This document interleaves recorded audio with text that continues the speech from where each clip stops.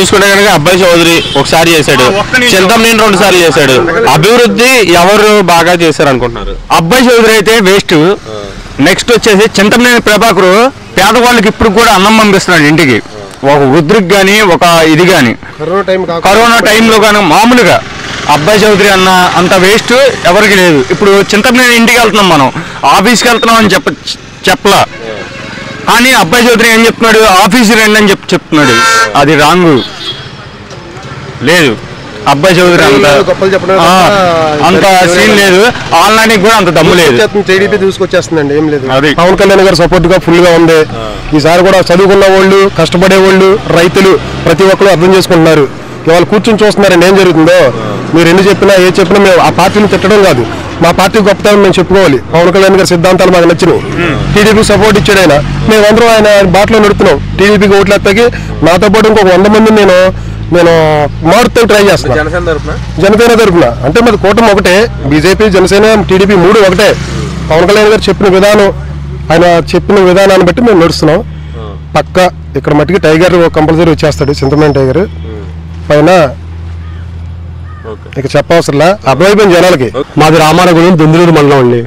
YCP వచ్చిన తర్వాత ఏంటంటే అంతకుముందు టీడీపీ ఉన్నది పదేళ్ళు పనిచేసినప్పుడు ఉద్యోగస్తులు కూడా తీసేశారు మొత్తం అందరిని. ఫర్ ఎగ్జాంపుల్కి నేనే బాధ్యుల్ని. అదే మాట నేను అబ్బాయి చౌదరి గారి దెందులూరు మన శ్రీరామనం కామరెడ్డి మండల స్థాయిలో కామరెడ్డి నాని గారి వల్ల నా ఉద్యోగం పోయింది కేవలం.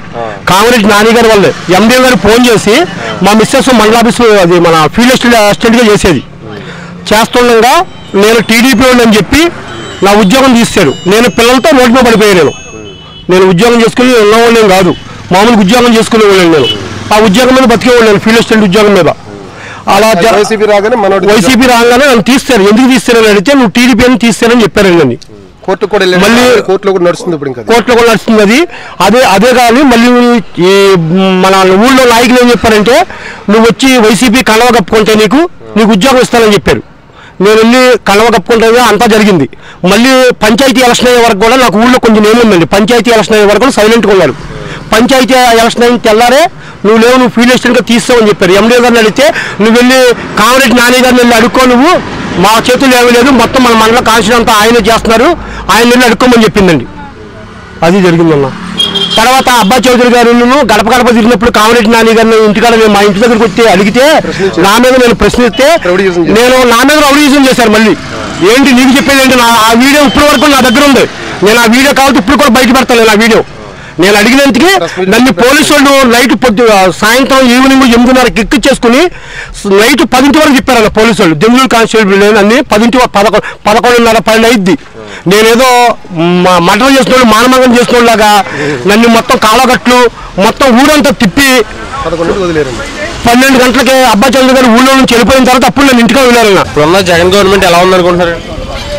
జగన్ గారిని చండాలం కొనమాట ఈ ప్రయత్నాలని అంటే ఏ విషయంలో దరిద్రంగా ఉందనుకుంటున్నారు బాగోలేదు. భూముల విషయానికి పోతే అన్ని సర్వే చేపించడం తగులు పెట్టడం